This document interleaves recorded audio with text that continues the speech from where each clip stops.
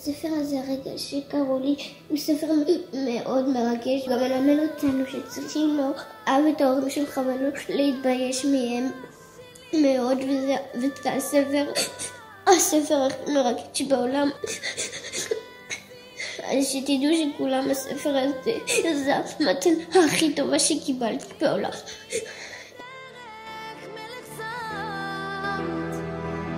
תמיד רצית שיהיה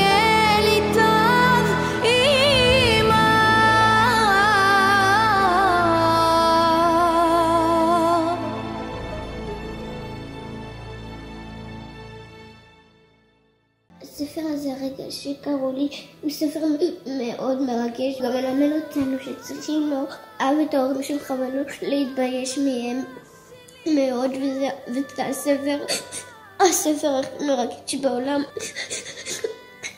אז שתדעו שכולם הספר הזה זה המתנה הכי טובה שקיבלתי בעולם.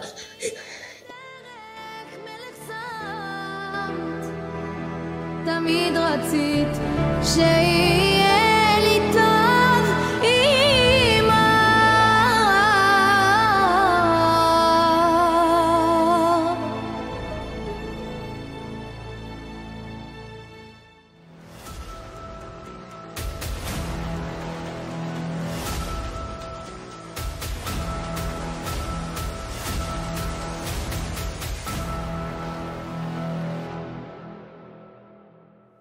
קהל קדוש ירושלים, ערב טוב קהל קדוש, בעזר השם יתברך, בשם השם נעשה ונצליח. הקדוש ברוך הוא יברך את כל הקהל הקדוש שנמצא כאן, בכל הברכות כולם, ובכל מילי דמיטב אמן ואמן. קהל קדוש ירושלים, כמה כיף אה, לפתוח פה את השיעור הראשון אחרי חופשת אה, הפסח, חגי הפסח, אה, חגי חודש ניסן. אה, אני גם מתרגש וגם אה, באמת באמת באמת ציפיתי, חיכיתי. אני חושב שזה אחד ה... אה, שמונה שנים של דרשות, זה אחת התקופות הכי ארוכות שלא דרשתי. עשרה ימים שלמים זה היה חוסר מטורף בלב, בנפש ובנשמה. אז אה, לחזור ישר לירושלים אה, הבירה, לראות פה את הקהל, להשתבח שם מולד, כזה מתוק, יפה, אוהב תורה, בא להתחזק, במיוחד בנושאים שעליהם נדבר אה, כל, ה... כל הזמן הקרוב, לפחות עד חג השבועות. בכלל צריך לדבר על זה בכלל, על הנושא הזה כל החיים. והנושא שאני רוצה לדבר עליו זה בין אדם לחברו. אבל דווקא ממקום אישי, דווקא ממקום קרוב, דווקא ממקום של מתוך הבית. כי בדיוק עכשיו היה פה את אלי המתוק הזה שדיברתי איתו בחוץ, ואמרתי לו שברוך השם, יש הרבה אנשים רחמנים. יש, לא חסר רחמנים, יש רחמנים. אבל לצערי, רבי יצחק, הרבה אנשים מרחמים בחוץ על אנשים זרים, ובבית לא מרחמים. זאת אומרת, הוא רואה איזה ילדה מסכנה, והוא אומר, אז זה מרחם עליה, והלב שלו נשבר עליה. אבל יש לו ילדה בבית שהוא לא התייחס אליה כבר כמה חודשים. זאת אומרת, אנחנו רואים כמה דווקא אדם לחברו, כמו במצוות נתינה, צדקה, חסד, עניי ביתך קודמים. לפני שאתה מרחם בחוץ וזה טוב, צריך לרחם בבית.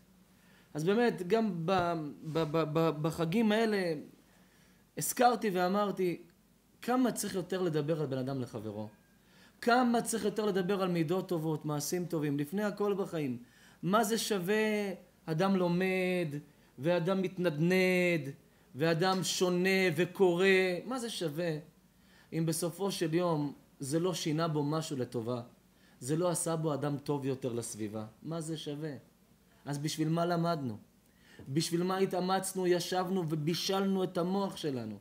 בשביל מה? שנצא מהתלמוד תורה ונהיה הרבה יותר אנשים אכזריים? הרבה יותר אנשי אמת שחותכים בבשר של האחים אחרים? אנחנו למדנו את זה פה בירושלים. דע לך שנה, לחברך לה תעביד. מה ששנוא עליך, אל תעשה לרעך, לחבריך. אומר הלל הזקן לאותו גוי שהוא גייר אותו, זו כל התורה. אומר לו, ומה זה כל התורה? אומר לו, זה פירושים על מה שעכשיו אמרתי לך. זה רק הסברים איך צריך להתנהג נכון ואיך לא. ואני רואה הרבה הרבה אנשים שלא יודע, נהיה להם כזה שהוא טרנד אה, לרחם על אחרים, על בעלה לא. לרחם על ילדים של אחרים, על הילדים שלה לא. להיות נחמד בחוץ, כעסן בבית. להיות איש חסד לכולם, קמצן בבית. ורבותיי, לפני שאנחנו לומדים להיות מי שאנחנו צריכים להיות, אנחנו צריכים להיות בבית. סיפרתי את זה כמה פעמים, אפילו שהגעתי פעם למיאמי ביץ', אז ביקשו ממני, שם הרבנית ליאורה הצדיקה, ביקשה ממני, הרב, אני רוצה שתדבר על זה, כי יש פה הרבה אנשים שמרחמים על כולם, לא על בני ביתם. ואני בדיוק סיפרתי את זה שהיה איזה בחור שהיה בא לכולל כל בוקר ללמוד, אבל הוא, היה לו מנהג רע, לצערי, מאחר. וראש הכולל אמר לו, שמע, אתה מקבל שכר על זה שאתה כאן משעה תשע עד שעה אחד. משעה שלוש עד שעה שמונה. אתה מקבל שכר על השעות האלה. לא יכול להיות שמי שמשלם לך את הדמי, את, את השכר שלך בתור אברך, ישלם לך על תשע שעות, ואתה תלמד שבע שעות. זה גזל! אמר לו, מחילה, אני לא אאחר יותר. ככה הוא חזר יום אחרי יום. כולם מתחילים בתשע ללמוד, הוא תשע וחצי, רבע לעשר. כל הזמן היה מאחר, רבי אהרון. מאחר קבוע, כרוני. יום אחד אמר לו, ראש הכולל אמר לו, ראש הישיבה, הוא תקשיב טוב, צדיק, אתה נשוי, ילדים, אתה יודע מה זה פרנסה? אני, אני לא רוצה גזל, ואתה גזלן. הוא נפגע, אמר לו, למה אני גזלן? אומר, כי אתה כל יום גוזל חצי שעה ממי שמשלם לך על זה שתלמד. אמר לו, יש לי שאלה לך, ראש הכולל, הישיבה, אני רוצה לשאול אותך שאלה. אם אותו אחד שמשלם לי, והוא משלם לי ואני מודה לו שהוא משלם לי, ובזכותו אני יושב לומד ואני מודה לו שבזכותו אני יושב לומד, אם הוא היה יודע שכל האיחורים שלי זה בגלל שיש אישה אלמנה בקומה שאני גר בה, שאין לה בעל. וכל בוקר אני מאכיל את הילדים, מכין להם סנדוויצ'ים, לוקח אותם לגנים, לבתי ספר. והחצי שעה, שעה שאני מאחר זה כי אני עוזר לאלמנה והיתומים האלה. הוא היה מוחה לי? הוא אומר לו, אני אומר לך שכן. אז למה לא סיפרת לי שעשית את זה? הוא אומר, לא רציתי לספר על המצווה הזו. אמר לו, מהיום אתה יכול לאחר גם שעתיים, יש לך אישור ממני. הוא בא לצאת החוצה, אז הוא אמר לו, הרב, רק שכחתי להגיד לך משהו. הוא אומר לו, מה? שכחתי להגיד לך שאלמנה והיתומים זה אשתי והילדים שלי. שאם אני לא אעזור לה, ואני לא אתן לה כתף ועזר, הילדים האלה יהיו יתומים והיא תישאר אלמנה. אמר לו הרב של הכהל, אמר לו, אתה צודק. אם זה הסיבה, תאחר. בחיים שלנו, זה טבע רע שיש באדם, ככה אומר הרמב"ם. אנחנו לומדים ועושים ומשתפרים בכל מה שטוב בחוץ לאחרים, אבל מה עם הבית? טבע האדם, כותב הרמב"ם, זה להסתכל על הקנקן ולא מה שבתוכו. הן ביופי, הן בחיצוניות, הן בנפש והן בנש... בנשמה של האדם. הוא לא מסתכל על הבפנים, על הבתוכו, על החשוב, על הבחוץ, הוא מסתכל.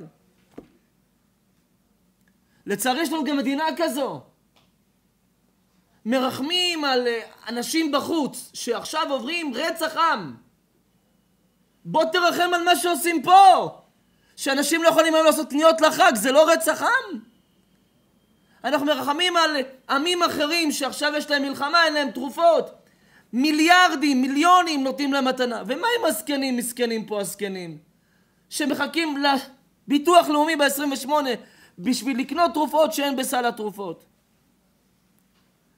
כשאתה רואה את זה, ואתה אדם חכם, משכיל, אתה אומר, אין פה צדק, אין פה הגינות. איך ייתכן שמדינת ישראל, שאין מי שידאג לה, בטח אין לה עצמאות, נדבר על זה ביום העצמאות, אין לה שום עצמאות, שום דבר. תמיד דואגת לחלשים בחוץ, תדאג לחלשים בפנים. דואגת למסכנים באוקראינה שעשו לנו שואה, לסל תרופות ומטוסי תרופות. אבל יש פה אנשים שעברו הם את השואה, את השואה על ידי האוקראינים. ולהם, האוקראינים, הנכדים של מי שעשה שואה, שולחים תרופות. בזמן שאלה שעברו את השואה, אין להם תרופות. זה מכעיס. למה זה מכעיס? כי אתה רואה שדואגים לאלה בחוץ, ולא דואגים לאלה בפנים. כל דבר בעולם שאתה רואה שקורה בחוץ, מדינת ישראל, זאת שכל כך מתהדרת ביוהרה שלה ובאיכסה שלה, שכולם בחוץ יש רחמים עליהם. מה הם רחמים על בית? מה הם הרחמים על הבית?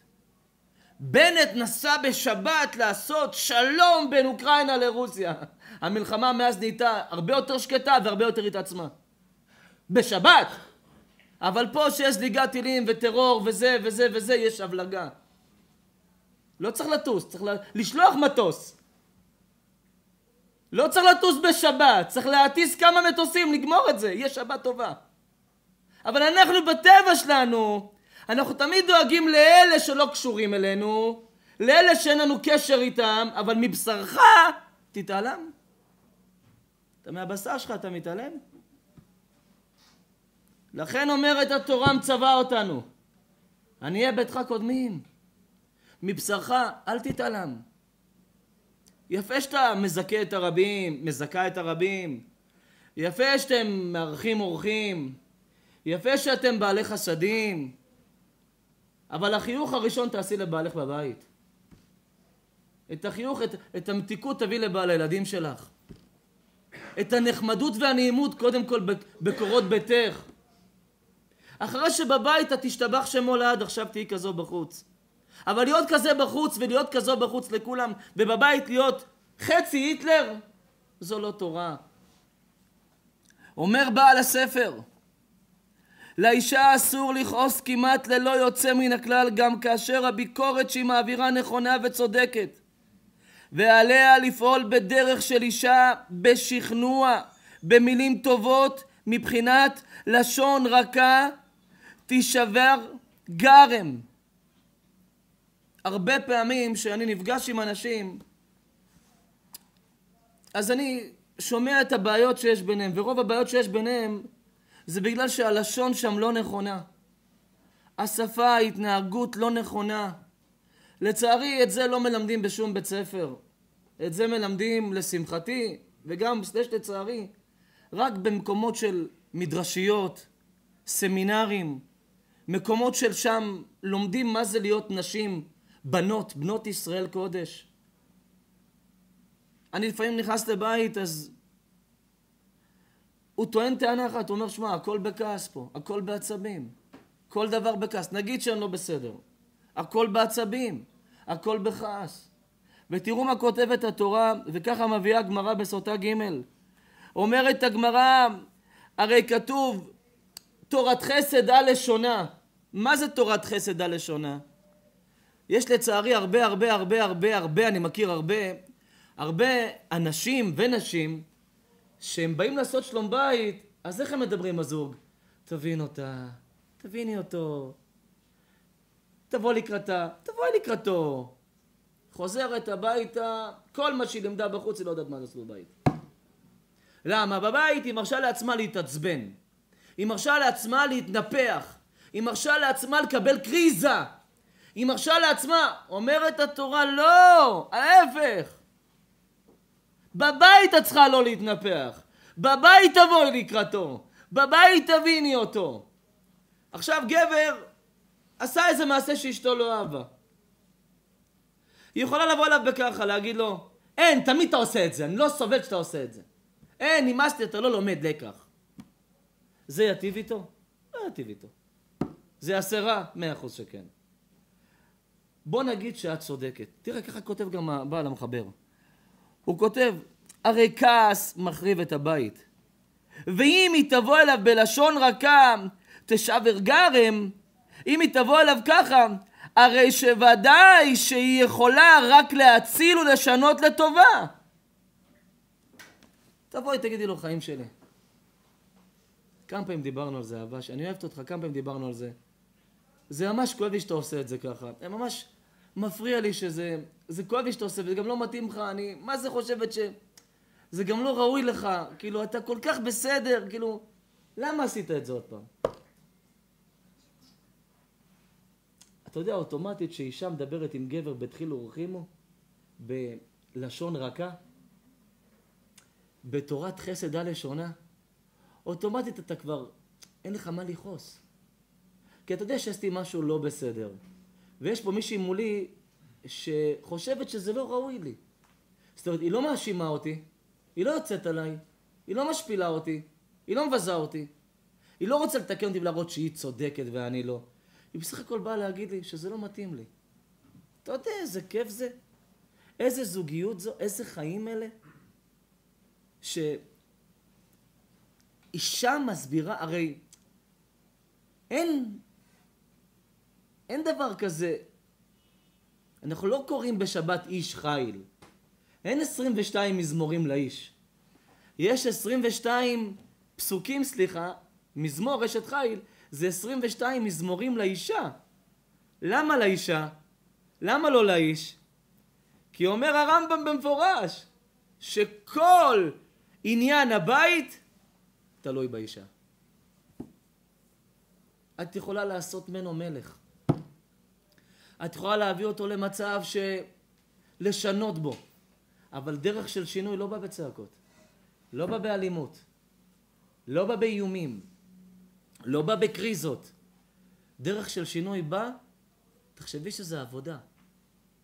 תחשבי שעכשיו אותו אחד ואת פסיכולוגית, או איזה פסיכיאטרית, או איזה אחת שעושה, מתקשרת, או עושה אה, אה, שלום בית בבתים, ואת ה שבה, שבטופ שבה, שבה ה.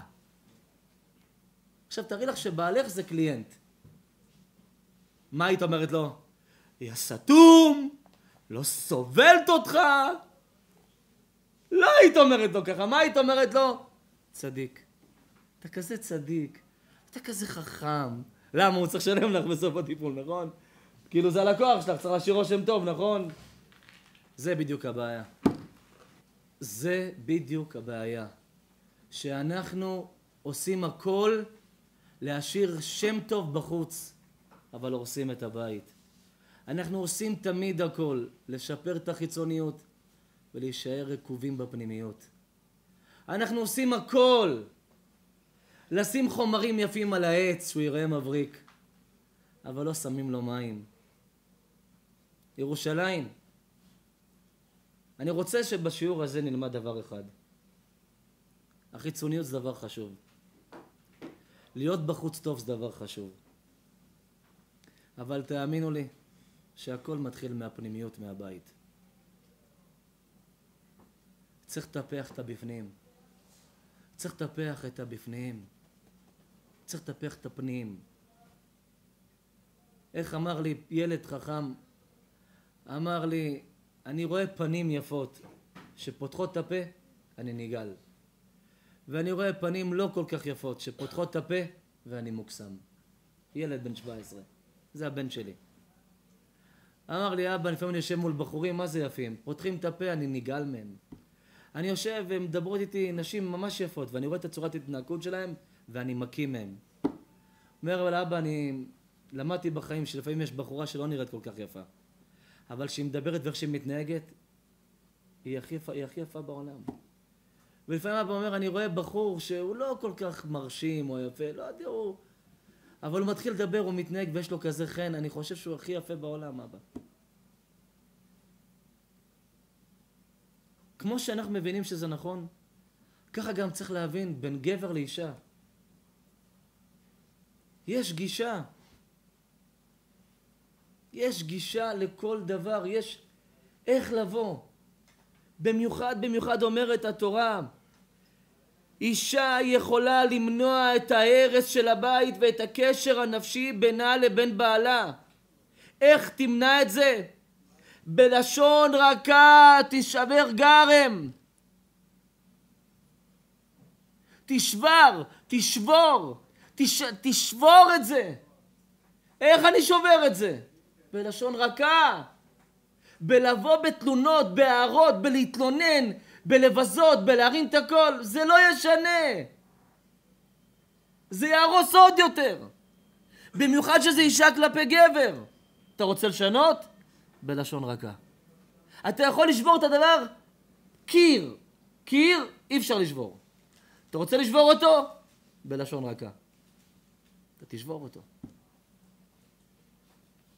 אומרת התורה, וזה החוסר הגדול שיש בבית האדם, שבסופו של דבר מי שסובל זה הילדים, והבעל, וההורים, והקרובים, בזה שדווקא בתוך ביתם אינם כראוי מתנהגים. יוצאת החוצה מחייכת לשכנים, שהחן שלה צריך עזרה, ישר היא עוזרת לו. איזה צדיקה. איך חיוך לכולם. איך שהיא נכנסת הביתה. מה קרה? אתה תבין לבד. מה יש לך? לא רוצה לדבר איתך. טוב, תחייכי קרפדה. אה, אתה גם קרקע?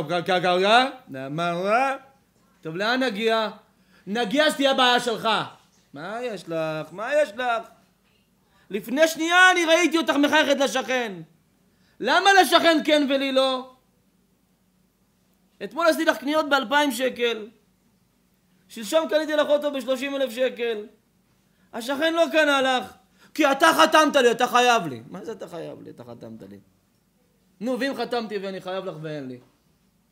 וגם אם אין לי אני נותן, ואם יש לי אני גם נותן. אז מה, השכן יותר טוב ממני? זה כמה, כמה גברים באים ככה בוכים לי? אומר לי הרב, השכן שלי לא עשה לה טובה אחת בחיים. ההפך, כל פעם שקצת מדליקים מוזיקה הוא מלשיננו למשטרה, באים פקחים. והיא כל פעם שיוצאת מהבית איזה חיוך, מה שלומך? איך אתה? תסדר? כן? זה משהו? עשיתי בדיוק חלות לשבת, להביא לך? כן? נו, חוזרת הביתה, בעלת אומר חלות, שתיחנק! למה? כי זה לשבת, אבל לא הבאת לו. למה? רבותיי, אני שומע את זה בהרבה בתים. גם הגבר. מה? שומע EMC שעוד צריך שם אוטו, ישר נותן. אשתו אומרת לו, האוטו שלנו ישן, תחליף את האוטו. זה בסדר, תשארי עם האוטו שלך, יש לנו אוטו, לא... הכל בסדר שאתה... רבי יצחק, יודע, עבדו חמים צדיק שלי. זה שאת דואגת לאלה שאין להם, אשרייך. זה שאתה דואג לאלה שאין להם, אשריך. זה שאתה דואג לאלה שחסרים, אשריך.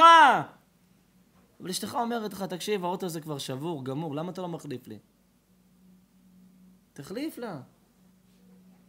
אין לך, אני מבין שאין לך. אשתך מסתפקת במה שיש? באמת זה תקין? לך תקנה לאחרים. אבל אני אומר לך שבור, לא נוסע, לא מניע, ילדים נתקעת כל הזמן, לא מניע, מצביע, די, יש לך, תקנה לה. אם היא לא מעריכה זה בעיה שלה, אתה תעשה. איך אני היום, יש בחור, אני מה זה, מה זה אוהב אותו. הוא, הוא איש מאוד, אה, יש לו חנות חשמל בטבריה, איש, איש מאוד מתוק, איש מאוד מיוחד. אלי רפאלי, אליהו רפאלי, איש מיוחד, איש באמת, ככה התחברתי אליו מאוד. היום ככה כתבתי לו, אמרתי לו, אלי,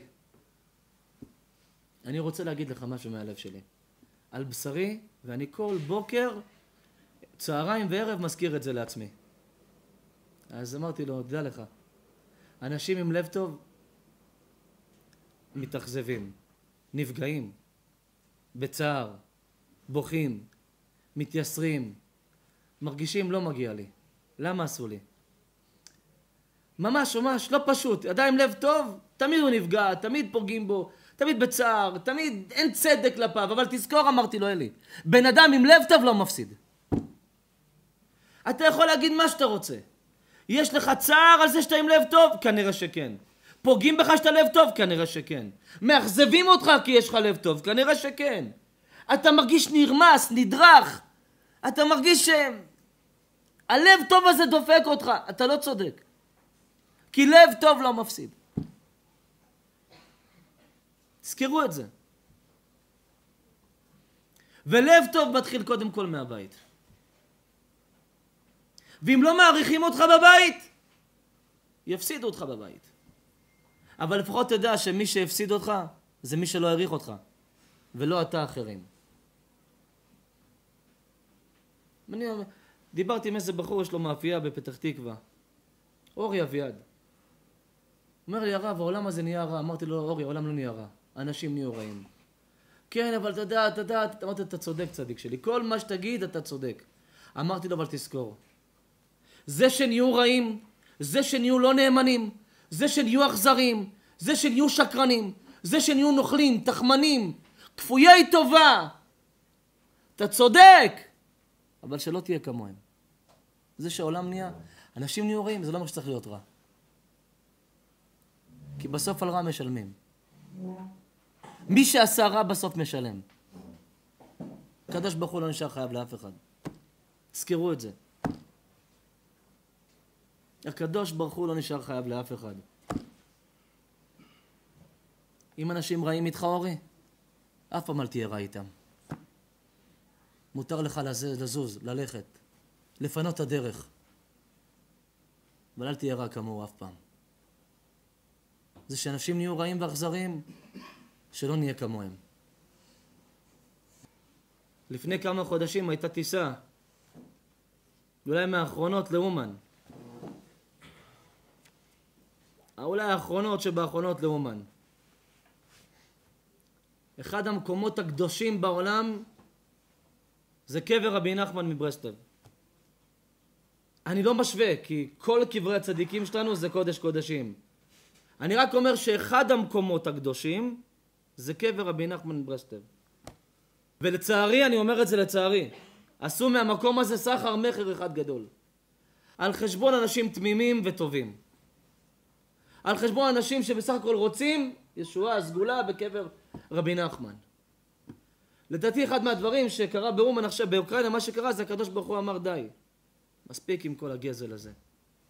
הקדוש ברוך הוא עושה סדר בעולם בכללי. הייתה טיסה. ישב בחור ועוד בחור, ישבו ביחד בשתי כיסאות, זה שתיים, שלוש, שתיים. ככה המטוס, ככה בנו.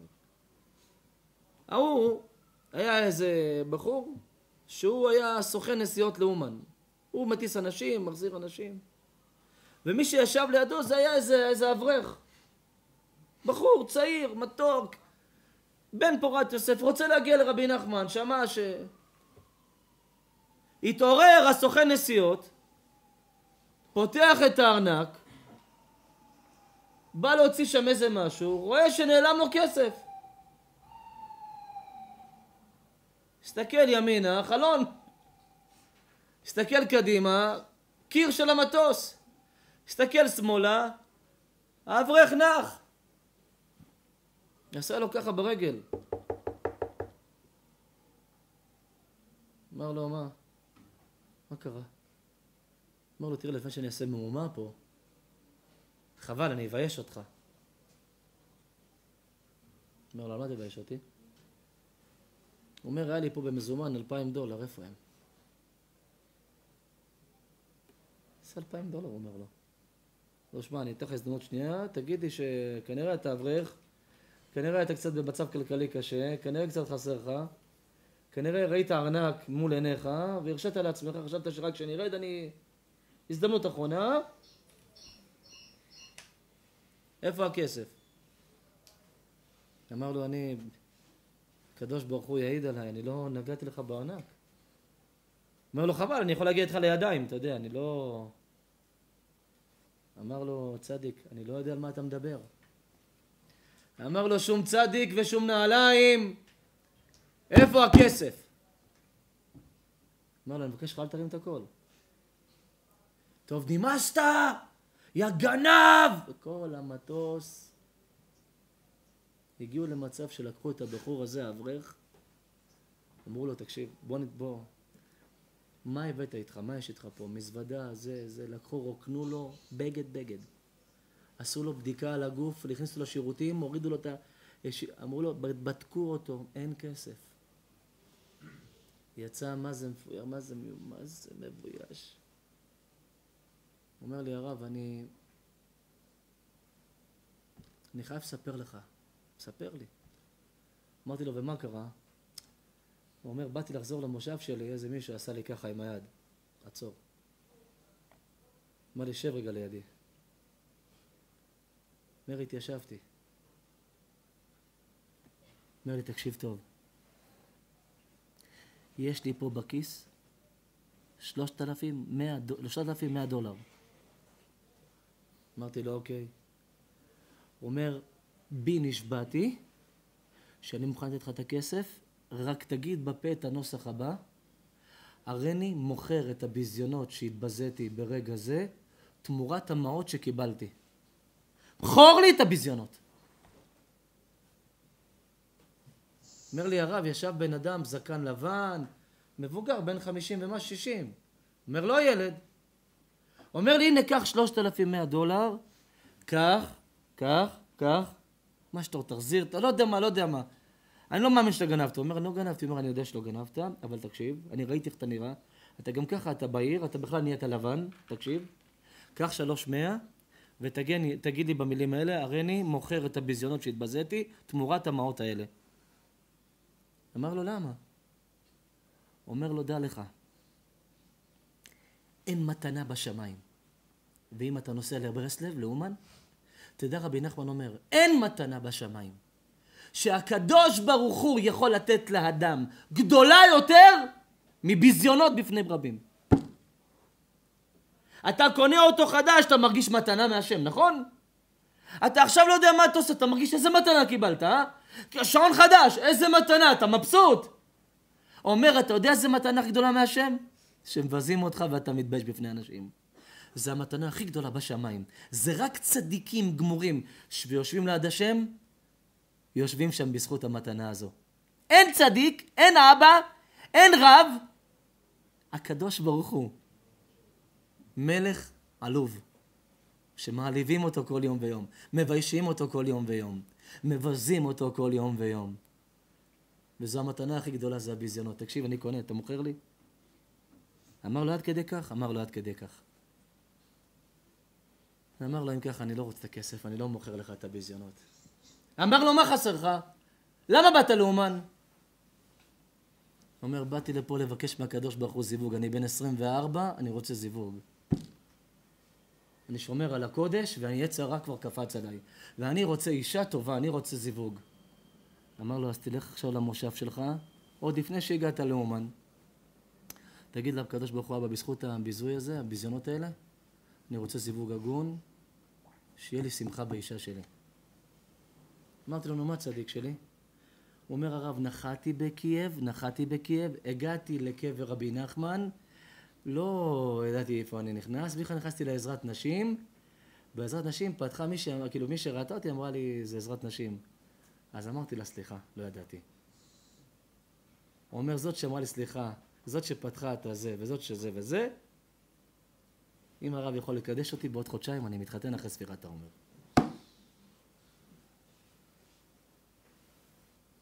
אני, איך שיוצא ספירת העומר, ב-23 למאי, למניינם, זה יוצא יום שני, אם אני לא טועה ביומן, תבדקו, כי בדקתי לו, יש לי איזה שיעור, אני לא יכול להגיע.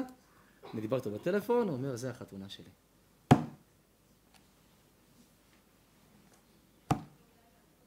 אנשים לא יודעים מה המתנה של הביזיונות. אנשים לא יודעים מה המתנה שיש בעולם הזה. לא מלמדים, רבי יצחק, מה המתנה של הביזיון. אבל הוא אומר, אומר הרב, זה לא נגמר ככה. כשנחתנו בקייב, עצרו השוטרים האוקראינים את הסוכן נסיעות. אמרתי לו, ו?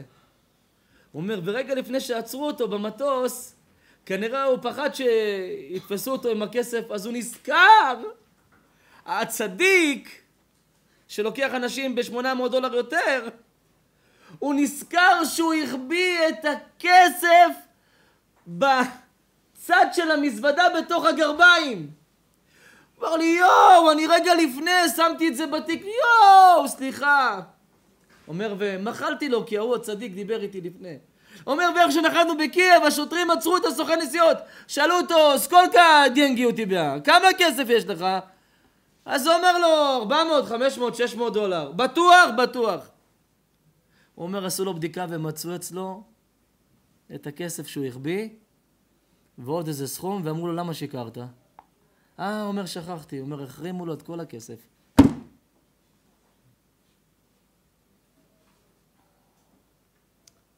הקדוש ברוך הוא, רבי יצחק, לא שוכח אף אחד.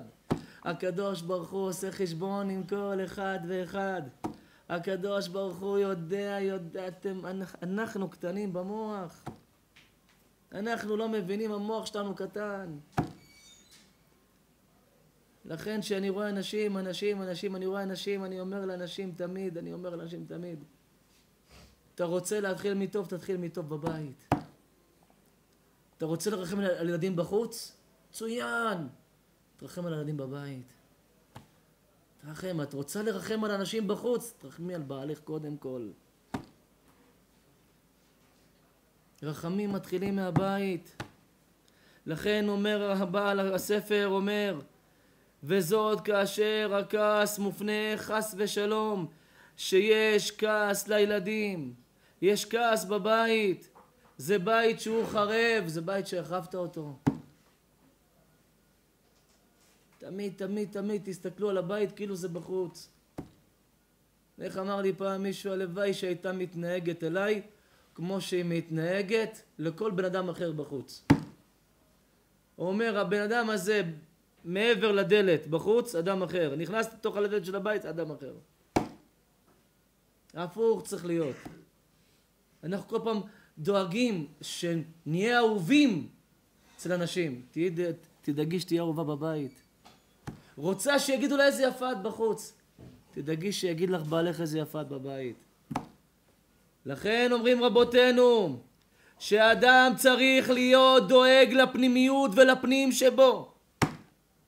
תמיד תדאג לפנימיות, תמיד תדאג לבפנים, תמיד תדאג לתוכו. מה אכפת לך שהבקבוק יפה? שאלה איזה מה, מה יש בו? אז שלא יהיה בקבוק יפה. אבל יש בו משהו טהור, טעים, משהו, וואי, השתבח שמו. אז היא לא נראית מיליון דולר, אבל לפחות יישאר לך משהו אחר. למה אלה שנראות מיליון דולר ואין להם פנימיות, רק חיצוניות, לא רק שהיא נראית מיליון דולר, היא תיקח לך עוד מיליון.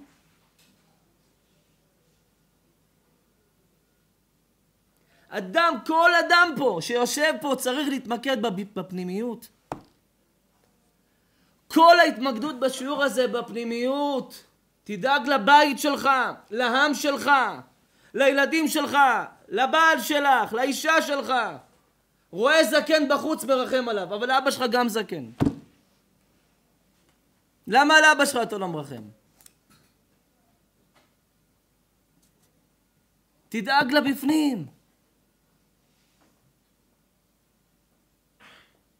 אני אומר את זה בכל שיעור ושיעור. ירושלים. היום זה לא פשוט זוגיות. זה לא פשוט. זה עבודה קשה, אבל רוצים טיפ אחרי השיעור הזה. קודם כל תדאגו לבית. קודם כל לבעל, לילדים שלי. אחר כך לילדים של חברה, של בת דודה, של אחות, של סבתא, של סבא. קודם כל לילדים שלי. לא חוכמה לדאוג לכולם ואת שלך אתה משאיר בהפקר. קודם כל לבית שלי. לא חוכמה להיות נחמדה בחוץ וכעסנית בבית. תהיי כעסנית בחוץ, שישנאו אותך. אבל שבעלך יאהב אותך. שתתייחסי אליו בכבוד. היום זה הפוך. וואי, איזה בעל, איזה בעל, אלוהי, וואו, אני מתעלפת, איזה בעל. והיא אומרת, איזה בעל, מפלצת. מפלצת. לא, לא, איך הוא עוזר לבעלי. אין, אין, רק בעלי אומר לנו, צריכה עזרה ישר, 700 שקל, יואו. היא אומרת, נו, את מבינה? ואני כבר חודשיים מבקשת ממנו 200 שקל לאיזה נעליים בשביל לא נותן לי. זה בעל.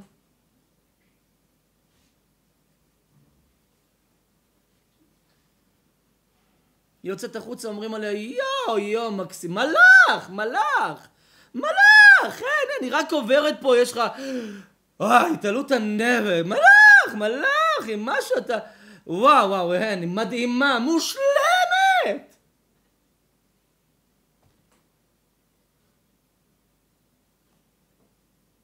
הבעל אומר לי, רבנו עשר דקות איתם לבד בבית.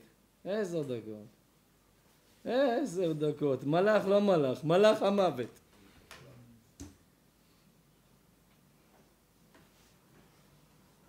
לא מוש... מפלצת. לכן אומרת התורה, צריך להיות אדם בביתו לשון רכה תשבר גרם. להיות בלשון רכה וככה כתב בעל מנורת המאור. עליו השלום אומר, על אף פי שהאישה אינה בת זוגו של האיש, אל תחשוב בהניה את בעלה כחבר אלא כאדון וזוהי תורתה. אישה שמתייחסת לבעלה כאל אדון, אל המלך, המלך אמר אני אין, המלך אמר אני אדון. אומר בעל ספר, בעל מנורת המאור, אומר לא תדע, לא תזלזל בו, לא תוריד מערכו, אלא תרים לו ותדבר ות, אליו בלשון רכה, ותהיה כאמותינו הקדושות, שתראה בו כאדון וזוהי כל התורה. בא לי פעם מישהו בכה לי, אומר לי, כולם מעריכים אותי. הילדים שלי מעריכים אותי, החברים מעריכים אותי, כולם מעריכים, זאת לא מעריכה אותי. אם דיברתי איתה, אמרתי, תקשיבי טוב, אם זה ככה, לא, בסוף את תפסידי אותו. תפסידי אותו. הוא אומר לי, דעו לכם, יש בתורה כלל ויוצא מן הכלל. אבל תדעו לכם, אישה טובה זה אישה כנועה. אישה שיודעת זה המלך שלי. זה הסוד לשמור על הבית. לשמור על הבית, רוצה לשמור על הבית? תמיד תדברי איתו בלשון, אה, תורת חסד הלשונה. שלא יספרו לכם כל הרבנים סיפורי סבתא וסיפורים של... אה, שזה מקסים את כולם וזה מביא כל מיני חתימות והוראות קבע. אתם רוצים עצה של, של אחד שקצת עבר חיים. קצת עברתי, קצת הרבה. סוד בזוגיות. כל מה שיש לך תן לאשתך. איזה כיף זה שיש אישה שכיף איתה. אישה שכיפית איתך, בעל מטומטם שלא יוצא איתה פעם בשבוע לטייל. אני אומר לכם את האמת. בעל שלא לוקח את אשתו לטייל פעם בשבוע מטומטם, בתנאי שכיף איתה. כי יש נשים, אתה לוקח אותם פעמיים בשבוע לטייל. אבל מתוך הפעמיים בשבוע יש לך עשר פעמים בחודש מכות. אני שאלתי בחור, אתה אוהב לטייל? כן. אתה אוהב לבלות? כן. אתה אוהב טיולים טבע? כן. אתה אוהב מסעדות? כן. אז למה אתה לא יוצא איתה? הוא אומר, אני לא יוצא איתה. אני יוצא איתה, רק אחרי שאני יוצא איתה, אני לא חוזר איתה. אני רוצה לצאת איתה, אין לי מי לחזור. הוא אומר, כל פעם שאני יוצא איתה, אני לא רוצה לחזור. אז מה שווה?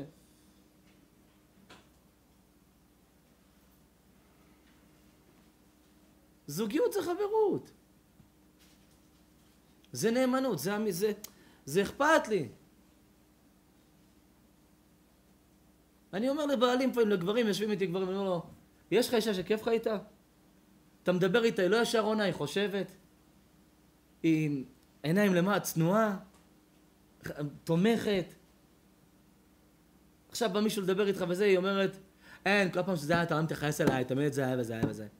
לא, ההפך, היא אומרת, וואי, איזה כיף זה שככה אוהבים אותך, איזה כיף שככה מכירים אותך, איזה... את, אתם מבינים? זה הכל תלוי ב...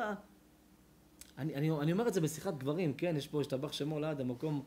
יש לך אישה שכיף לך, תצא איתה, תבלה איתה. תאמין לי כוס קפה ב-20 אה, שקל אתה והיא, אתה בונה חיים שלמים. אתה נוסע לאיזה, לאיזה, אני יודע מה, לאיזה מה, יש טבח שמולד.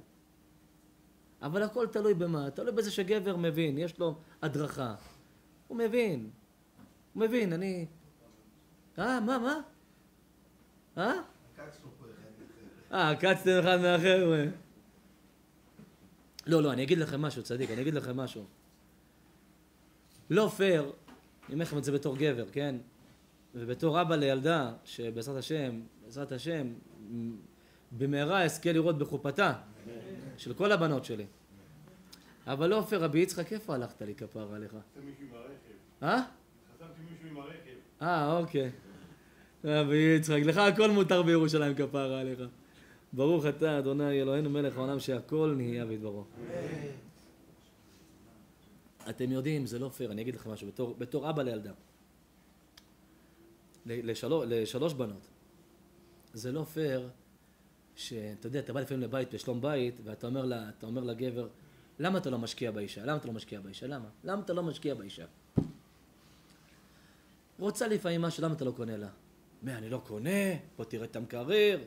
פותח את המקרר, כל הבירות של קורונה והייניקן. אה, אתה יודע, אני לא קונה? פותח את הארונות, גרעיני אבטיח, פיצוחים, פופקורן. למכבי חיפה בית"ר ביום ראשון. אני לא קונה! פותח את הפריזר, סטייק אנטריקוט, טומהוק, ביצי קינדר, מה שאתה רוצה. תראה מסך 75 אינץ'.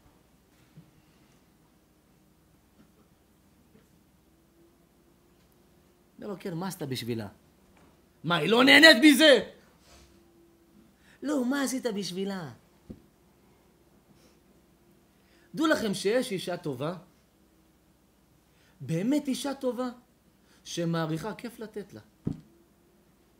יש, אין כיף לתת לה, אני אומר לכם. אם תבוא תגיד לי נתתי לה, היא לא העריכה, אני מסכים איתך. פה אני שותק. כי אני אצלי חוסר הערכה זה בלתי נסבל. אני שונא כפויי, אני לא, לא שונא כלום.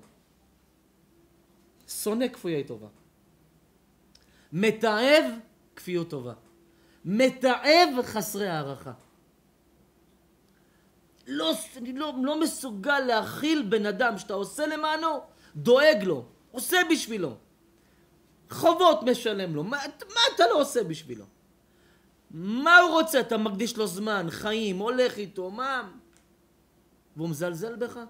לא מעריך אותך? עוד פוגע בך? עוד משפיל אותך? מתעב אותם. מי שזה לא יהיה. אי אפשר לסבול אנשים כפויי טובה. אי אפשר לסבול אותם. אני לא סובל. תחילה. לא מסוגל לחיות, או לא מסוגל להיות ליד בן אדם שאני יודע כפוי טובה. לא מסוגל. אני אומר לכם, יש לך אישה טובה? אתם לא יודעים, תעשה איתה סיבוב, תעשה איתה טיול. לא צריך כסף, ברגל, קח שקית גרעינים. אתה בונה בית לחיים, אתה בונה חיים שלמים. ואתה יודע שיש לך אישה שמעריכה אותך? יש לך אישה טובה, יש לך אישה לא מתלוננת, יש לך אישה, אתה עושה, לא עושה, אתה הכי טוב. נותן, לא נותן, אתה הכי טוב. על אחת כמה וכמה יש לך אישה כזו? פנק אותה, קנה לה, תשפר אותה. למה היא מעריכה? אני לפעמים רואה גברים שחיים עם נשים שלא מעריכות, ושם הכל הפוך. נותן לה, עושה בשביל להביא, רק מתלוננת. והוא ממשיך לעשות. יש לי בחורה, באה לשיעור, אומרת לי הרב, יש לי חברה, מקללת את בעלה, מבזה אותו, משפילה אותו, והוא רק נותן לה. ואני ממליכה את בעלי, והוא כלום לא נותן לי. כמה צריך להתפלל, אני אומר, להתפלל על זה. לכן אומרת התורה, שהכל עניין הבית תלוי באישה. ברור גם בגבר, בטח. לכן צריך לבחור גבר, איך דיברתי ככה עם הבת שלי, גבר שיש לו יראת שמיים, גבר ש... יש לו פנים, אז גבר שיש לו אהבת השם, יש לו כבוד לזולת. גבר שלמד שיעור, מחפש איך לקיים אותו. היה בשיעור, מיד מחפש איך לתפוס אותו, איך להחזיק בו. רואה בני אדם, חס עליהם. היום להביא גבר שהוא רחמן, לא, חס שלום, לא מעשן, לא עושה שטויות. היום כמה תפילה צריך על גבר כזה. כמה תפילה צריך להתפלל שבעלי יהיה לפני הכל בן אדם, לפני כיפה, לפני זקן. אה, אנחנו בתור אבות לילדים, כמה תפילות צריך על זה. שיהיה לבת שלי בעל שיהיה מכבד, מעריך, אח. אני מכיר אנשים, מכיר אנשים, ההורים של אשתו בשבילו זה ההורים שלו. ההורים שלו לכל דבר. אין לו כסף. אימא של אשתו, חובות של 90, 100 אלף שקל. אומר לה, אין לי, נלך לבנק, אני אקח הלוואה בשבילה. למה זאת אימא שלך? ולצערי לא כולם מעריכים אנשים כאלה. אבל יש אנשים כאלה. יש. אחד הדברים בעולם, תדעו לכם, בין גבר לאישה, הוא סיפר לך משהו? אף פעם אל תספרי לאף אחד. ברגע שאישה מכרה את בעלה, להורים שלה, לאח שלה, לא משנה למי, היא מכרה אותו. הרי בקידושין אנחנו נותנים, אנחנו קונים את האישה בקניין, אנחנו קונים את האישה, קונים אותה. בזה שאתה קונה אותה, היא שלך. ואם אשתך מוכרת אותך, היא כבר לא שלך. אם אישה מסוגלת לפתוח עליך, להשפיל אותך, להגיד דברים אישיים עליך, אפילו שזה יהיה לאח שלה, היא כבר לא שלך. אישה חכמה, ויש נשים כאלה. סותם את הפה שלה. היא יודעת, היום קצת רע, מחר יהיה טוב. איך אמרתי לבת שלי היום, בעזרת השם את בגיל חתונה, אם בעלך טוב לך ופעם אחת רבתם, או פעם אחת התווכחתם ותבואי תספרי לי, אני לא... אני... תדעי לך שאת תפסידי. למה? אמרתי כי אין מי שלא מתווכח ולא רב. אבל אם כל יום הוא ישפיל אותך, וכל יום הוא יבזה אותך, וכל יום הוא יגמור אותך, תבואי תגידי לי. אני לא אתן לך לחיות עם זה. מי שזה לא יהיה. אבל אם פעם בהחליק לו, פעם ברבתם, לא צריך לבוא לספר לאבא ואמא. כי למה שאבא ואמא ישנאו אותו אחרי חמש דקות שתחזרי לאהוב אותו? אחת הטעויות הכי נפוצות שיש בזוגיות. באים מספרים להורים את כל הרע, אבל מחר אתה חוזר להיות טוב. כן, אני מתה עליו. מה הוא כפרה עליו, אין חיים מלאך! אבל אבא שלך יישאר שונא אותו. כי אצל אבא זה עד הילדים שלו. כמה תובנות יש בחיים, כמה תובנות. איך אמרתי לבת שלי? תקני ויכוח קטן פעם בשבוע. תקני, מה? ההפך, מריבה מולידה אהבה, תקני. אבל השפלות, ביזיונות, מכות, דברים שהם לא... לא מוס... זה קו אדום. כמה אבא צריך לדבר עם הבת שלו על זה. כמה אבא צריך לחנך את הילדים שלו לזה. לעשות חסד עם הסביבה. אני מחנך את הילדים שלי תמיד. בכל כיתה שתהיה, בכל בית ספר שתימצא, בכל עבודה שתעבוד, תתחבר למי שאף אחד לא מתחבר אליו. לא כי הוא שנואי, כי הוא לא מקובל בחברה, כי הוא מסכן, הוא שונה, הוא אין לו. תתחבר אליו. אלה בסוף הכי אוהבים אצל השם, הם הכי מצליחים.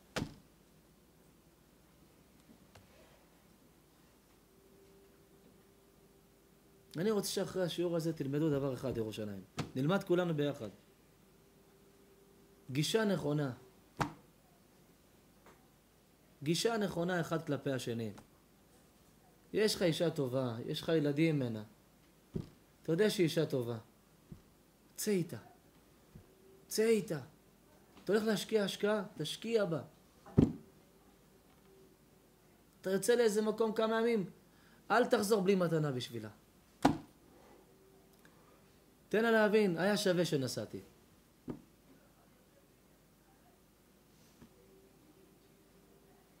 לא תאריך תאבד את זה. ואני לא מדבר על הכלל, מדבר על אלה שבאמת יש להם אישה טובה בבית. אלה שבאמת יש להם אישה מעריכה, לא מתלוננת, לא מדברת, לא צועקת, לא, לא, אישה טובה. תעריכו אותה. כי מה שיש היום בחוץ, בואו תראו, אני אקריא לכם משהו שאולי קצת לזעזע אתכם. מה שיש היום בחוץ,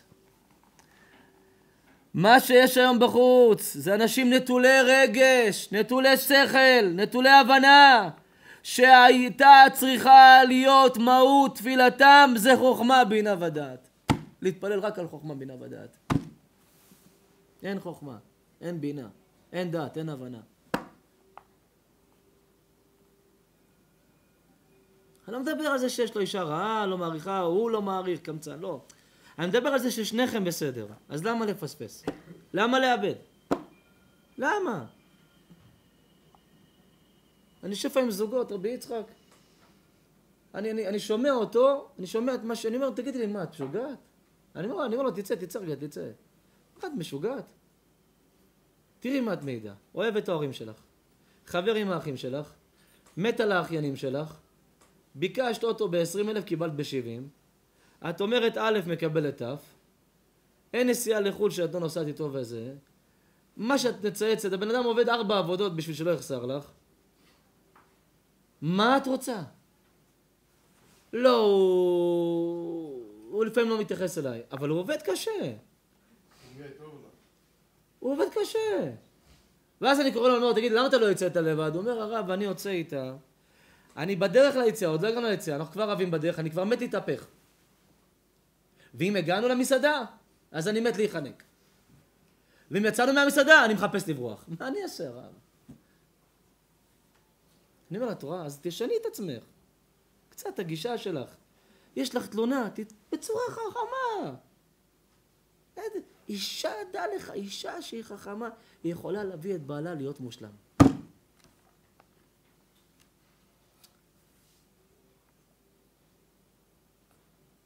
יש תוך בסדר. אז הקנקן לא כל כך מושלם. נו, אז מה? אז תחליפי איזה מדבקה, אני יודע מה.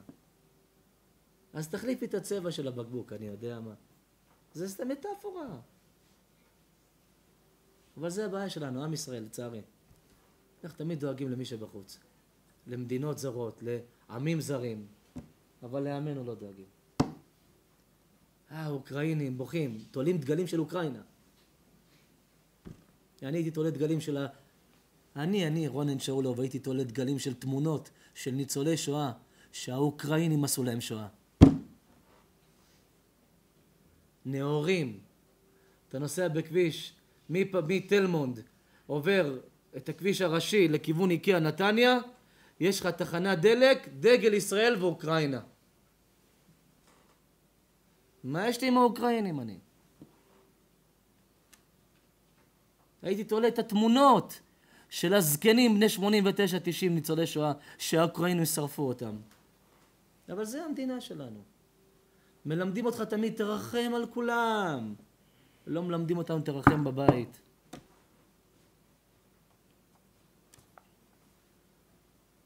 אני רואה ילדה בחוץ, זקנה, זקנה, איך מסכנה, מה זה...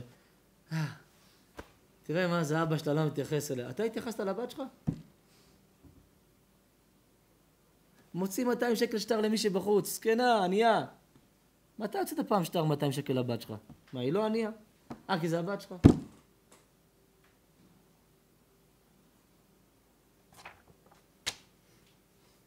טמטום. השקעה בטוחה זה השקעה של הבפנים. השקעה בטוחה זה השקעה של בתוך הבית שלי. אם את צועקת בבית, החריבה את הבית. אם את צורחת בבית, החריבה את הבית. אם את מטילה אימה על ילדים, החריבה את הבית. אישה אומרת התורה, אסור שתהיה כועסת בתוך ביתה. כי כעס מחריב את הבית שלה. היא יכולה להחריב את הילדים שלה, את בעלה, את כולם יכולה להחריב, על ידי כעס. הבן שלך לא לוקח את הזבל. מה את מקללת אותו? חיים של אמא. אני יודעת שאתה עזרת לי, אתה עוזר לי תמיד. אלף פעם ביקשתי ממך, אני יודע שאתה עסוק, משחק, אבל כפר עליך, יש לי כאבי גב, אהבה שלי, אני יודע שאתה רחמן. את- אם לדעת שהוא אכזר, אני מבין, אבל לדעת שהוא רחמן. חיים שלי. אתה כזה רחמן, כזה טוב, אתה... אני יודע שאני מפריע לך לשחק אולי. תסיים לשחק, תיקח את הזבל חיים שלי, כי אני, יש לי כאבי גב, אני כבר, אני, אני כפרה עליך. במקרה הכי גרוע הוא יסיים את המשחק, ייקח את הזבל. במקרה הכי טוב הוא יעצור את המשחק בשבילך, יפסל, ייקח את הזבל. למה? פנית אליו יפה. בא לי איזה אבא, רבי יצחק, תקשיב, תקשיב, ארי. בא לי איזה אבא, אומר לי, הרב, אני חייב את העזרה שלך. אמרתי לו, במה? אומר לי, תראה הרב, אני אמיתי איתך. הילד שלי ילד טוב, אבל הוא ואימא שלו לא מסתדרים. כסח מטורף. אמרתי לו, ילד טוב, כסח מטורף, סליחה, צדיק שלי לא מסתדר לי. אומר לי, הרב, תוכל לדבר איתו בשבילי? עכשיו זה חבר טוב שלי, אני ישר באתי. הושבתי את הילד במרפסת אצלהם בחוץ, בדירה, במרפסת בחוץ בדירה. אמרתי לו, צדיק שלי, שב, אני מכיר אותך מגיל קטן, אתה ילד טוב, רחמן. מה קרה? אומר רבנו, מה היא מבקשת אני עושה בשבילה? לפעמים לא בא לי, מותר לי. אמרתי לו, תראה, מה זה מותר לי? אבא ואמא זה אבא. כן, אומר לי, אבל רבנו, אני לפעמים עייף. היא גם כל שנייה, אני... אתה יודע, אני יושב, משחק, אני, זה משחק של חצי שעה, שעה, רק התחלתי. אם אני יוצא מזה, אני יכול לחזור רק מחר. היא יודעת את זה. אמרתי לו, ומה שעכשיו היא רוצה, זה אפשר להמתין עם זה? הוא אומר, כן, ברור שאפשר להמתין עם זה. התחיל לספר, לספר, לספר לי. ריחמתי עליו. ממש כאב לי עליו. למה? אני אומר, איזה הורים טיפשים. הילד טוב? כן. רחמן? כן. מחונך? כן. מכבד? כן. אהוב? מאוד. טיפש? לא. חכם? גאון. מה נשאר? גישה. אז אתה קורא לאמא, אמא אומרת, "אה, אבל הוא לא מקשיב. והוא אמר, כיבוד הורים. היי, תעצרי, טום טום. את מאבדת את הילד, הוא ישנא אותך. שישנא! תגידי, את מפגרת? הוא ישנא את התורה שלו, הוא ישנא את הדת שלו, הוא ישנא אותך, הוא ישנא את הכיפה שלו, לא מתנהגים ככה לילד. אמרתי לו, צא רגע, שבי רגע. מה, הוא אכזר? לא. מה, הוא חצוף? כן, לפעמים, כי את גורמת לו. אז מה? תפני אליו, צדיק שלי. יעקב, אני מבקש ממך, חיים של אמא, שתתפנה מהמשחק, הריח של הפח עושה ריח רע בבית, כפרה עליך. הגב שלי שבור, חיים של אמא. מתי שתסיים גם עוד שעתיים, תוכל לזרוק את הפח, חיים שלי לא בלחץ, כפרה עליך, תשחק. אם בא לך גם תעשה עוד משחק. טוב, חיים? ילד טוב כמו שאת תארת אותו, יקום באותו רגע. אז גישה. הכל זה גישה. הילדה שלך עכשיו שמה חצאית שלך גרביונים. מה? את רוצה להיות חילונייה? מה את זונה? מה זה הדברים האלה? היא בשנייה תוריד גם את החצאית. קחי אותה, חיים של אבא. חיים של אמא, תקשיבי. אהבה שלי, את כזאת צדיקה, את כזאת צדיקה. אני יודעת שאת צדיקה, קדושה, שמורה, את קודש. לא מתאים לך ללכת בלי גרביונים. לא, את, אני, אני אומרת לך, אני, את גרביון, היה טיפה נקרא לך, את כזאת, לא מתאים לך. מה היא כבר תענה לך? אמא, שכחתי, היה לי חם. או אמא, את צודקת, סליחה, פעם אחרונה. הרווחת ילדה, הרווחת אותה בכל הכיוונים. תצעקי עליה, לא תרוויחי מזה כלום, תפסידי אותה, איתה זה דווקא. ילדים זה נג- נגחנים, אוהבים להתנגח. אני אומר את זה קבל עם ועדה, בן פורת יוסף, פעם בשני הילדה שלי פה. אך, טפו טפו, בלי. ב- אני בחיים שלי, בחיים, לא רבתי עם הילדים שלי. לא יודע מה זה לריב עם הילדים שלי. אין דבר כזה לריב איתם. אני יכול טיפה לכעוס, אני יכול להסביר, אבל אני הרבה הרבה הרבה מחבק אותם. הרבה חום ואהבה. אין מה לעשות. אין מה לעשות. צריך להבין את הנפש של הילד. זה, תבינו רבותיי, הבית שלנו. זה הבית שלנו. מחר יהיה לך, אחיין שלך יהיה מוצלח, זה לא הצלחה שלך. זה הצלחה של אבא שלו. מה תגיד? זה אחיין שלי? מי סופר? אבל אם מחר יהיה לך בן מוצלח, יספרו אותך שתגיד זה הבן שלי. באחיינים שלך יש להם הורים שיטפלו בהם. אתה תטפל בילדים שלך. אתה תדאג לבית שלך. אדם חכם, לפני שבכלל דואג בחוץ. תדאג בחוץ, זה מצוין, תדאג בבית. איך דואגים בבית? גישה. איך הגישה הכי נכונה? לשון רכה, שבר גרם.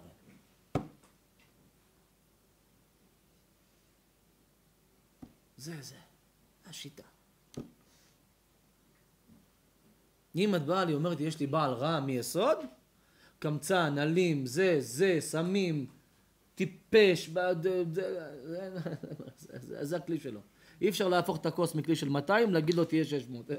זה הכלי שלו, נגמר הסיפור. עכשיו תחליטי, אני חיה עם זה או לא חיה עם זה. בן אדם צריך לפשפש, אה? בנגעים של עצמו. איפה אני יודע שאני לא בסדר, אני אתקן, איפה אני יודע שאני בסדר, אני אעצים.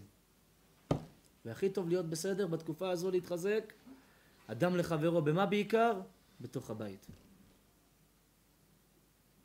ויש לו חברים בחוץ, איך הוא אוהב אותם. אח שלו לא סובל אותו, למה? טוב, תביא איזה סיבה אחת טובה, אני אבין אותך. אני אבין אותך.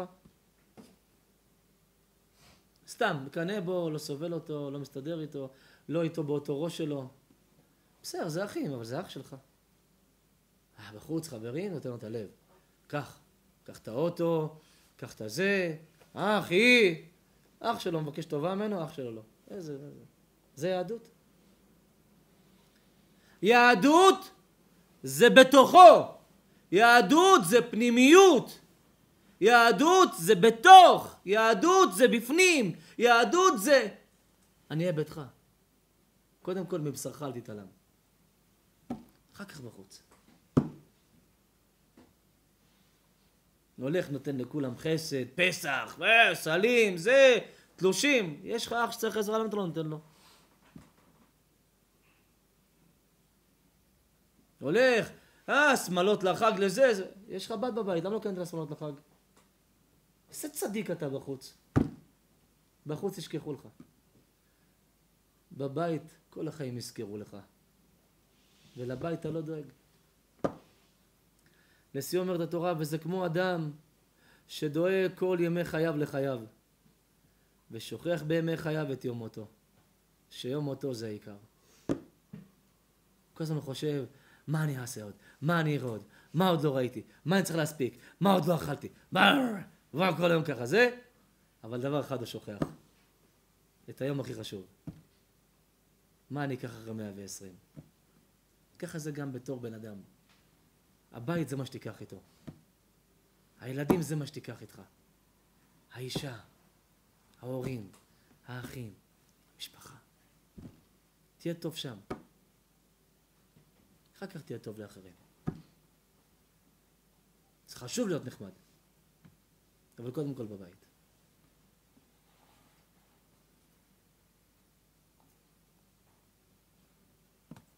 איך אמר לי אדם חכם?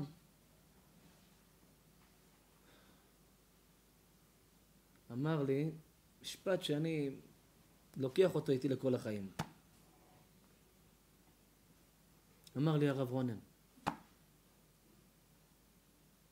בחיים יש עיקר וטפל. אדם מאוד חכם, אני מאוד מאוד מחזיק ממנו. איש בן 67, 8, אולי כבר 9. אמר לי, בחיים יש עיקר ויש טפל. אומר לי, אני אתחיל לדאוג מעצמי רק כשאני אתחיל להבין שהפכתי את הטפל העיקר בחיים. הוא אומר, אני לא דואג. אני חי, ואני חי נכון וטוב. למה? כי אני יודע, זה עיקר, זה טפל. אם אני אקח את הטפל ואחשוב שהוא העיקר, אני אתחיל לדאוג לחיים שלי. והעיקר זה הבית. העיקר זה אישה, הבעל, הילדים. הזקנים, ההורים. הילדים, אה? אלה היתומים. שאם לא תדאג להם, הם יתומים. האלמנה, אם לא תדאג לה, היא אלמנה. לא תדאגי לו, הוא אלמן. יש הרבה אנשים חיים אלמנים, והם נשואים, והאישה שלהם בחיים. והיא מקסימה, כולם מתים עליה. בבית בעלה מת. יותר נכון חי מת. היא מתה. אפשר לקחת את זה לזכר ונקבה, כן? כל השיעור. יש לך ילדים, תוציא אותם לטייל. לפני שאתה דואג לכולם, תוציא אותם, קנה להם. יש לך אישה טובה, תוציא אותה. שב איתה כוס קפה, צא איתה, תהנה איתה. לא, נהנה עם החבר'ה ביום חמישי. טמבל. אה, היום רואים משחק, לא מפריע. מה עם אשתך? מתי יצאת לראות איזה משהו? אני מכיר משפחות, כל שבוע אצלהם זה חג. מגיע החג הם נחים. יש אנשים אצלהם רק בחג אולי טיפה, אולי עושים טובה, יוצאים. אפשר להפוך את הימים לחגים. שאלה מה מבינים, איך חיים נכון. לא, רבי יצחק. אתה לוקח את הילד יום אחד סיבוב איתך לעבודה, זה יום חג בשבילו. אתה לוקח את הבת שלך יום אחד איתך איזה יום שלם, הולך איתה לאיזה מקום שותה אוכל איתה, זה יום חג. אתה לוקח את הבן שלך הקטן איתך באוטו, שם לו מוזיקה, עפים באוויר. אה, לוקח את הילדים שלך קצת לים, לא צריך כלום. אתה הופך את היום הזה ליום חג. מגיע חג, מה אומרים לך? אבא, אנחנו רוצים לנוח. למה? הפכת, הפכת את ימיך לחגיך. חג. אני מכיר, יש נשים שיכורות מהבעל, שיכורות. היא קמה בבוקר מסטולה. במקום ללכת לשירותים, היא נכנסת בכלל לחדר ארונות. מצחצחת שיניים עם סכין גילוח.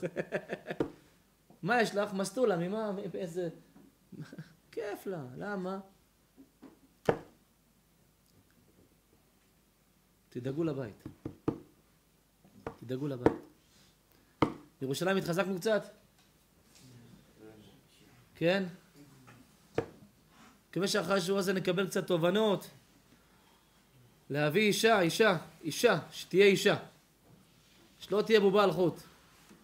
ולא תהיה הנחמדה, השכנה, הפייה, שלגיה ושבעת הגמדים. לא צריך זה, תשאיר את זה לוולט דיסני. לא צריך פצצה ואחרי זה אתה תקבל פצצות לפנים. לא. צריך להביא בחיים אישה. אתה רוצה להביא אישה, שתהיה אישה. אישה, שתהיה אישה, שלמדה להיות אישה. לצערי בשום בית ספר לא מלמדים להיות אישה. רק בבית תורני, בית עם חום ואהבה, בית עם הסברה והכוונה, מדרשייה, שם לומדים להיות אישה. להעריך את מה שיש, לאהוב את מה שהשם נתן, לדעת להשתמש נכון במה שקיים.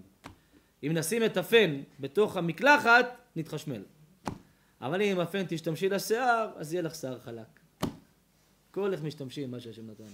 וזה השיעורי תורה. זה מה שהיום חנה ובעלה פה הזמינו לירושלים, את השיעור הזה שנדבר על כמה נושאים שהם זוגיות, חינוך הילדים, שלום בית, משפחה וכל מה שקשור לבינו, לבינה ובתוך ביתם שילדים והורים ביחד, שזה אדם לחברו.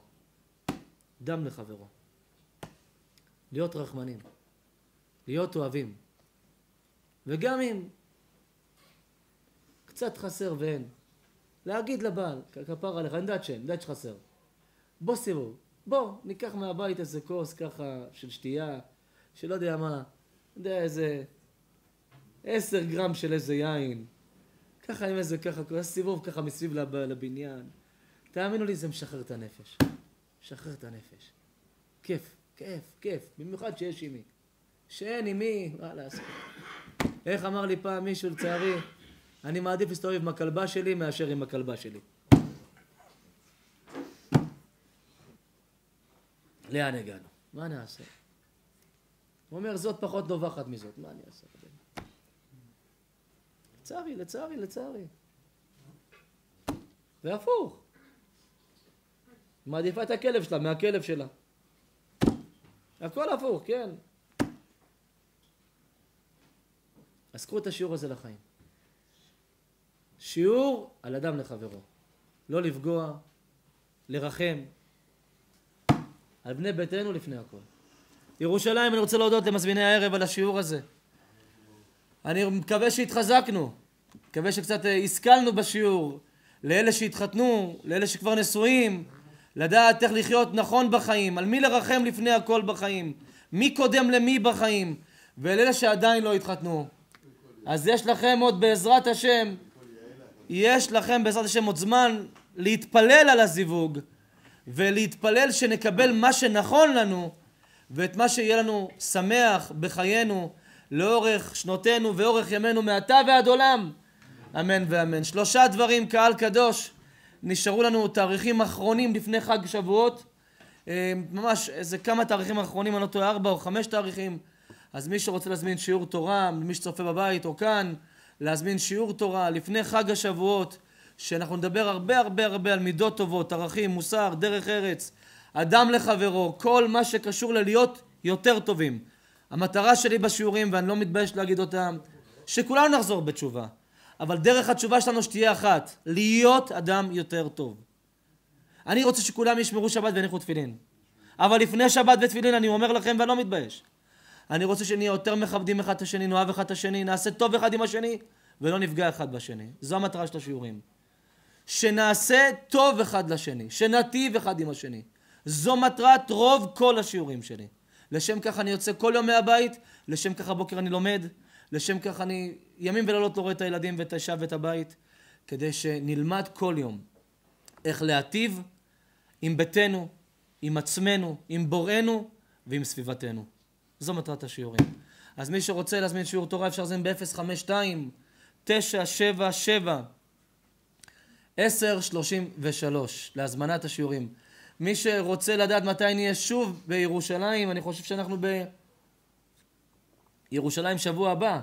עוד פעם, פסגת זאב, או משהו באזור של ירושלים. מי שרוצה לדעת איפה אנחנו בירושלים, אני אתן לו עכשיו מספר טלפון, ישלח הודעה, צרפו אותי שם ועיר, יצרפו אתכם, תדעו מתי נהיה בירושלים ובסביבה שלה. נראה לי שגם בעוד שבועיים אנחנו שוב באיזה, במושב אה, בירושלים, נכון? איפה? ארמון הנציב. השכונה, כן. אז אנחנו בירושלים שבוע הבא, בעוד שבועיים וגם בעוד... ש... לא, לא יודע בדיוק, אבל מי שמעודכן אצלנו בלוז, יש לנו גם ערוץ מעודכן לפני הכל. מי שרוצה גם את הערוץ, אני אתן לו עכשיו אה, גם טלפון וגם את הערוץ. אז קודם כל טלפון ל... להצטרפות, לעדכונים, 050 63 222, שלוש פעמים 2, 63. שלחו, צריך לשמור את המספר בזיכרון. אחרי ששמרתם את המספר בזיכרון אפשר לרשום אמונתך בלילות, ארגון אמונתך בלילות. אחרי ששמרתם, שלחו הודעה למספר הזה, צרפו אותי, שם ועיר, יצרפו אתכם, יעדכנו אתכם בוואטסאפ יום או באותו יום שיש שיעור. מי שרוצה לדעת תמיד שבוע לפני אפילו, לקבל כבר פלקט שבוע לפני, לקבל כל תקציר, כל שיעור, כל מה שקשור לארגון, יש לנו ערוץ בטלגרם, אתם נכנסים לאפליקציה טלגרם, ובאפליקציה אתם עושים חיפוש. בחיפוש תרשמו הרב רונן שאולוב, יצא לכם שם אה, כותרת כזו עם תמונת רקע כתומה, תיכנסו למטה ג'וין, תהיו בפנים, אתם קשורים לערוץ. דבר שלישי ואחרון, מי שרוצה ספר על כיבוד הורים, על הורים וילדים, ספר מרגש, על האימא והבן, להזמין בבית, או מי שרוצה כאן יוכל לרכוש אחרי השיעור. מי שירצה לרכוש את הספר המרגש שעשה, אנחנו בפסח ואחרי פסח קיבלנו תגובות על הספר, אנשים בכו, בכו, בכו, החיים שלהם השתנו מהספר. אז מי שרוצה להזמין את הספר, פה אפשר אחרי השיעור. מי שרוצה בבית, 050 90 80 989 להזמנת הספר. יש לנו משלוחים עד הבית, וגם היום כמעט בכל עיר ואזור בארץ יש איסוף עצמי שאפשר תוך כמה דקות אחרי שמדברים עם הנציג, אפשר ישר ללכת ולקחת את הספר. ירושלים, חנה צדיקה, איך היה השיעור? כן? איך היה השיעור הבעל היקר? כן? שיהיה לכם חיים מאושרים וטובים, ושיהיה לכם תמיד תמיד תמיד את כל הטוב שבעולם, בתוך שאר כל עם ישראל, מעתה ועד עולם. אמן ואמן. אני מודה לכל החבר'ה שלי שתמיד מלווים אותי פה בירושלים, האחים הקדושים, השתבח שם מולד, כל אחד ואחד שיושב כאן, אה, ככה, רבי יצחק היקר, אורי דרלי, ארי מיטל, אהרון יוניאן, כפרה עליך, וכל אחד ואחד כאן שיושב, שאני לא מכיר בשמות. אני מודה לכם שהייתם, נשארתם, שמעתם. תמשיכו לבוא להתחזק ולחזק אחרים. ברוכים תהיו ראשונה, ירושלים בכל הברכות שבתורה כולה. אמן ואמן. רבי חנניה בן הקשיא אומר, רצה הקדוש ברוך הוא לזכות ישראל. ולפיכך הרבה להם תורה ומצוות שנאמר אדוני חפץ למען צדקו. יגדיל תורה ויאדיר קדיש.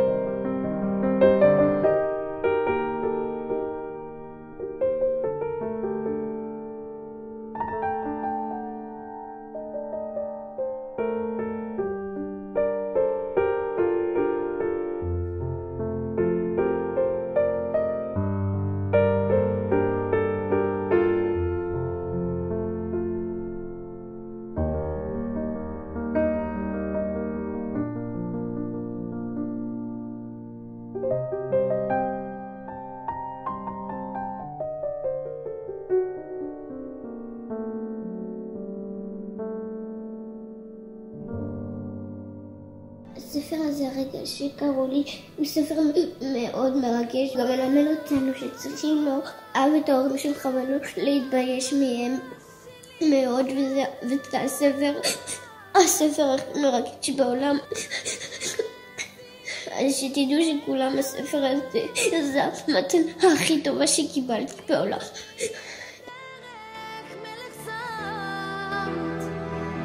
תמיד רצית שיהיה